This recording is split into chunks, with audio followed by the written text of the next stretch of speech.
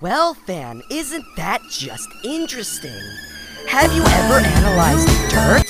Well, how about now? Is it interesting enough? You got enough information down there? What are you gonna do? Write it on your- You son of a bitch! Oh, is this gonna become a cliche too? Your, your fiery temper tantrum being illustrated by by a literal flame? Oh, there it is. I, I can see it. I hate you!